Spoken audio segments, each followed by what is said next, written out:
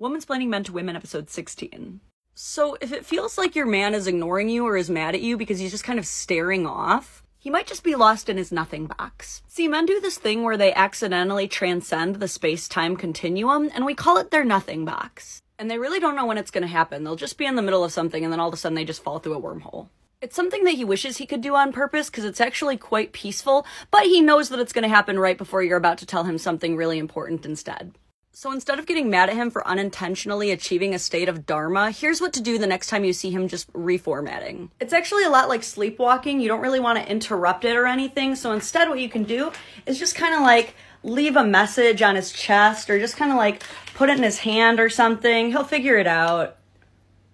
Next level of your relationship unlocked. You're welcome.